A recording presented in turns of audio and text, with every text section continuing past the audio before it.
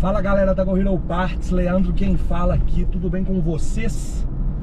Me fala aí como é que vocês estão, eu tô vendo que a galera tá cada dia mais acompanhando os vídeos, elogiando pra caramba, fazendo críticas construtivas, pedindo dicas e isso me instiga a gravar cada vez mais vídeos para vocês, trazer cada vez mais novidades sobre GoPro, câmera, vídeo aí, o um mundo de tecnologia. Então, no vídeo de hoje, eu vou te falar seis coisas que não te contaram sobre a nova GoPro Hero 11 Black, tá? Isso você não Radar acha... semafórico reportado à frente. Deixa eu desligar meu Waze aqui. Isso você não acha em lugar nenhum, você só vai achar falando que a GoPro é excelente, que a GoPro é top, etc, e grava full frame, que não sei o que. Só que o que está escondido por trás dela ninguém te conta. E é isso que eu vim aqui fazer nesse vídeo. Para isso eu fiz uma listinha aqui que eu vou falar, como eu disse, são seis tópicos. Então vamos lá, sem enrolação. O primeiro tópico aí é para te contar que todos os novos modos que a GoPro trouxe, que eles são luz com rastro, o rastro de estrelas e o rastro do, do, de luzes dos veículos que você faz à noite, são modos automáticos aí que basta você selecionar, você já captura essas imagens legais, você não tem a disponibilidade de gravar ele no full frame. Eu não sei te explicar por qual raio de motivo a GoPro me lança um sensor maior, um modo novo, um modo automático, não é novo, é automático para facilitar a sua vida e não coloca o raio do full frame para você juntar na composição do seu vídeo que foi todo gravado em full frame igual eu estou gravando agora. Não me, não me pergunte por quê, coisas de GoPro.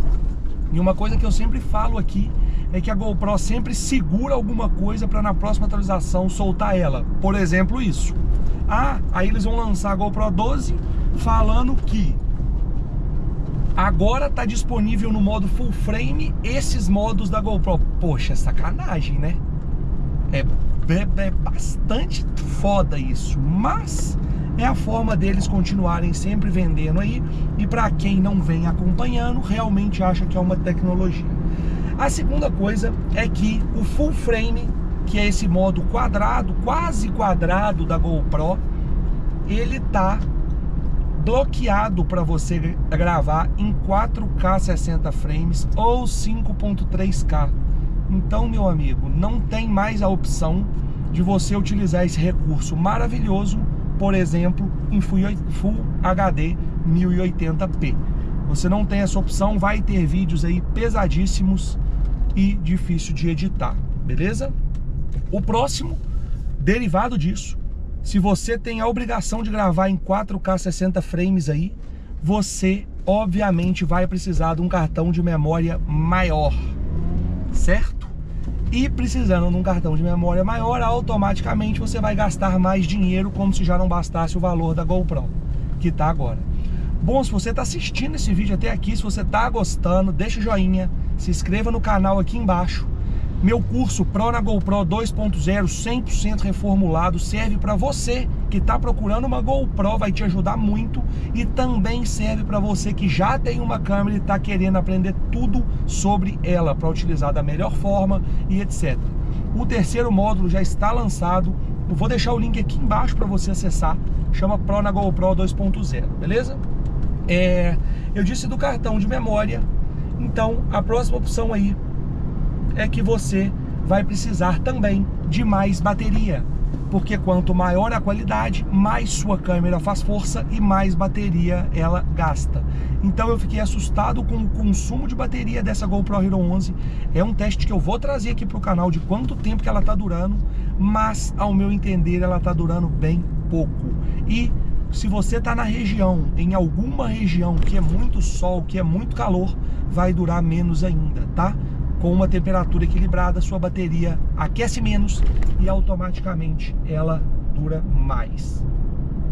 E a próxima, a, a, próxima coisa que ninguém te conta aí, né, que já é a quinta, é que automaticamente, gravando com qualidade melhor, tendo desgaste com bateria, com cartão de memória melhor, você vai precisar de um celular melhor. Não adianta você querer utilizar seu celular de entrada aí, ou arriscaria até dizer intermediário para poder fazer e editar os seus vídeos com a GoPro, porque você vai passar raiva.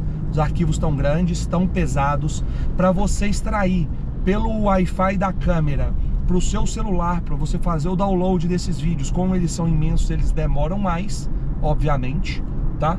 E ah, Leandro, mas você está falando só que ela grava muito, mas ela também tem Full HD. Sim, ela também tem Full HD, mas você usa só metade da câmera. Aí não vale a pena você comprar uma Hero 11 Black. Deu para você entender? Vai pegar uma Hero 11 Black, você precisa ter um composto de coisas completas e tops de linha para você utilizar todos os recursos da câmera sem passar raiva, porque não, não justifica. E em sexto lugar aí, para você ficar mais feliz ainda, foi uma experiência que eu passei, é que você também vai precisar de um super computador para editar em 4K. Olha que legal! Então, meu amigo, se você está disposto a comprar uma GoPro Hero 11 Black que eu vendo na loja, site de acessórios para GoPro e câmeras GoPro aqui embaixo na descrição www.goheroparts.com site top cheio de coisa, é meu você vai gastar uma bela fortuna fazendo upgrade completo de todos os seus componentes usuais do dia a dia aí. Computador, celular, câmera, cartão de memória, bateria. Bicho, tem coisa pra caramba. Tirando todos os outros itens que você tem que comprar, porque senão você não consegue usar a GoPro. Vai usar a GoPro na mão? Tem que comprar bastão, tem que comprar uma caixinha para guardar as coisas, ventosa, igual eu tô filmando para você aqui no carro. Então, esse vídeo foi para te abrir a mente e ver, para você pôr na balança, na verdade, e ver se realmente vale a pena você comprar uma Hero 11 Black. Beleza? Fica esse vídeo aí, deixa o joinha, se inscreva no canal aqui embaixo. Meu nome é Leandro da Gorilla Parts. Eu vou ficando por aqui e fui.